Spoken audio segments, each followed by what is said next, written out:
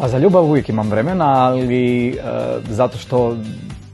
generalno sam čovjek koji gleda onako s ljubavlju na, na sve što radi i kako živi, ali ako me pitaš u onom romantičnom smislu, trenutno ne, single sam i e, zbilja moram reći da uživam u tome.